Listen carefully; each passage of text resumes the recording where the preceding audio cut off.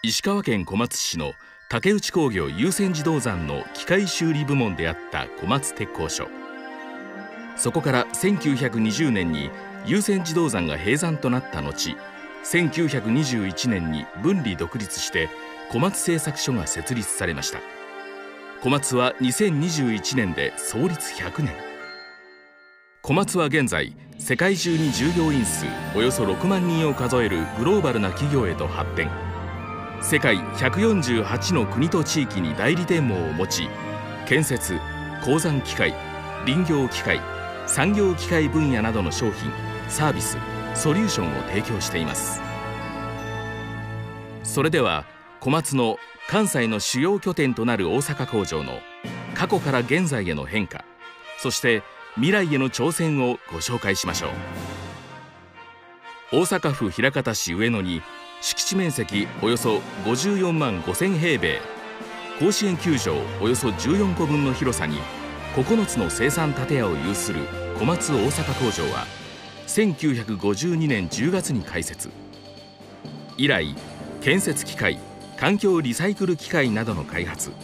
および生産を担う小松における主要なマザー工場として今日に至ります。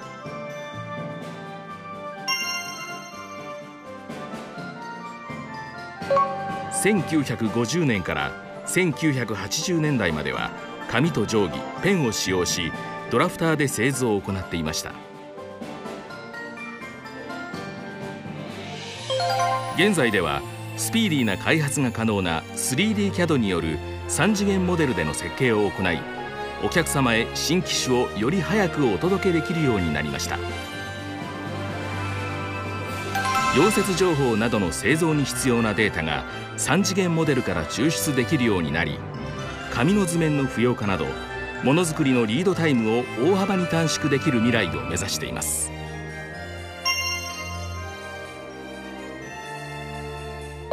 1960年代頃までは作業員が一つ一つ手作業で溶接ポジショナーを用いた溶接を行っていました。現在は最新鋭の溶接ロボットを導入し90%以上の溶接作業を自動化。高効率化を実現しハイテクノロジーとしての溶接接合技術を確立。そして未来へ。コムミックスという独自のプラットフォームを自社開発しさまざまな生産現場での見える化最適化による生産性向上を実現。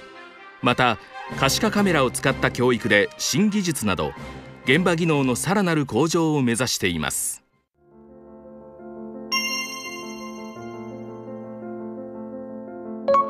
1960年代頃まではシステム化されていない組み立てラインで手作業での組み立てが行われていたため効率が悪く締め付けトルクのばらつきなど多くの課題がありました。現在ではシステム化された組み立てラインにてナットランナーと呼ばれる電動工具で締め付け作業が行われ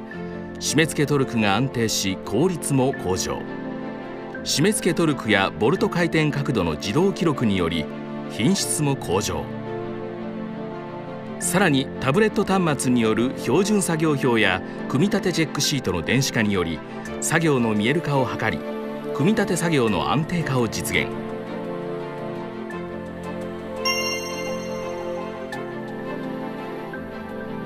小松の油圧ショベルはお客様のニーズの変化に合わせて仕様を変更。1984年 PC200、300の2型で好評を得ていた省エネ油圧システム OLSS にマイコンを組み込んだ3型はスタイルが一新され使いやすさも向上しました。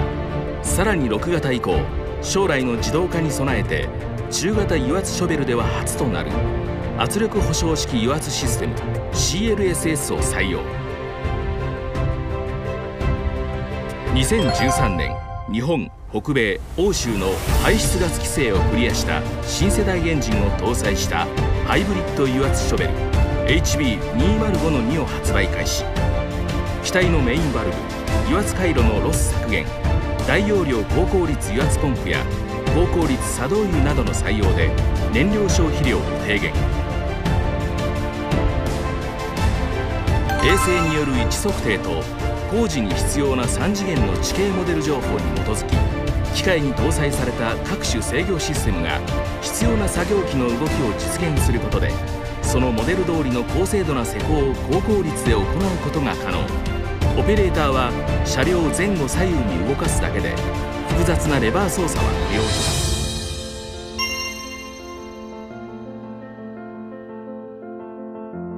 小松大阪工場では毎年枚方市内の小学校5年生を対象に工場見学を実施。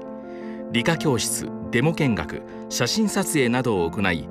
小松製品が社会で役に立っていることを知ってもらう場でもあります。さらに秋には地域や一般の方々が参加できる事業所フェアも開催。研気デモや親子ものづくり体験油圧ショベルとの記念撮影会など催しが盛りだくさん。隣接した関西外大のチアリーダーの演技は好評です。枚方市駅からの送迎バスもあり2019年度の来場者数は1万人を超えました。2021年小松は創立100周年を迎えます。この地で長きにわたり創業を続けられましたのはひとえに近隣住民の皆様をはじめさまざまなステークホルダーの皆様のご理解ご協力のおかげであり感謝申し上げます